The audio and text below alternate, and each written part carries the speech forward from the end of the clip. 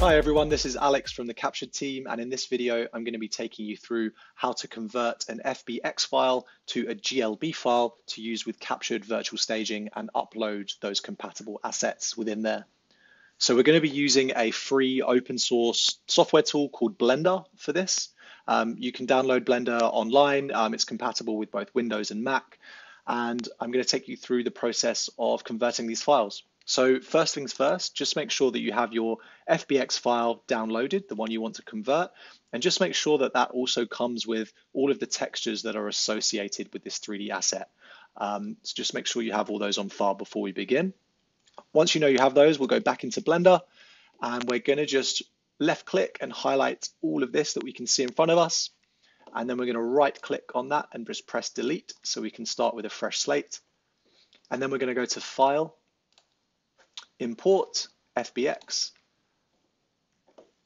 And then we're going to locate the file in the respective folder. Here we go. So we'll import that in.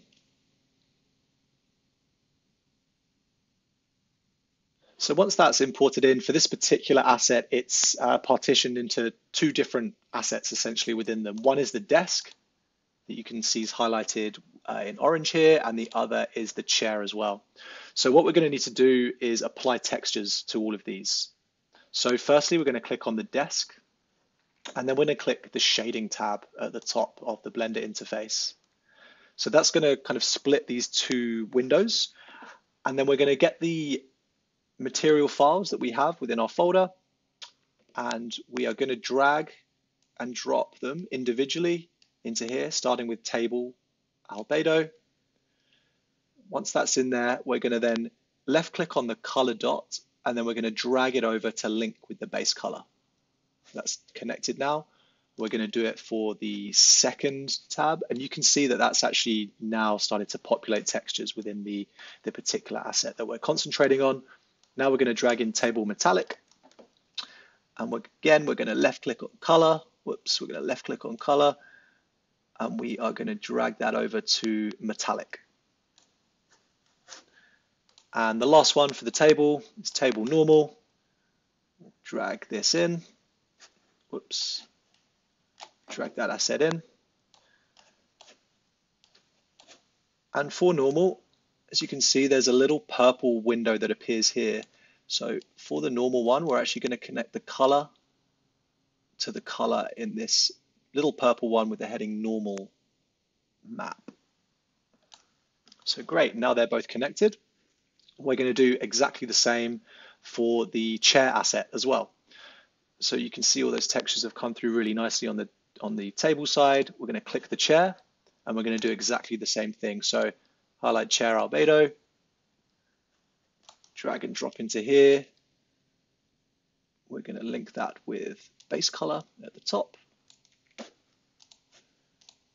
Same with chair metallic. Drag and drop into here. And color on metallic is going straight into metallic field within here. And then finally, chair normal. Drag that in. Whoops. Drag that in. And we're going to connect the color here with the color on this little window here. So as you can see now all of the textures are populated, it looks really awesome. Now it's time to export this asset uh, and convert it to, to GLB. So we're going to click the layout tab along the top here and we're going to highlight the whole asset, everything we want to convert and export. And after that's highlighted, we're going to click File and Export. And we want to export as GLTF 2.0, which is also GLB. Just before we do that, make sure that we click include and just click selected objects. I'm just going to call this desk. And I'm going to save this within the same folder so it's all nicely organized. And I'm going to click export. So that'll take a few seconds to export. And then once you've done that, you'll have the GLB file to access and you can upload that straight into CAPTUR3D Virtual Staging and start staging your property.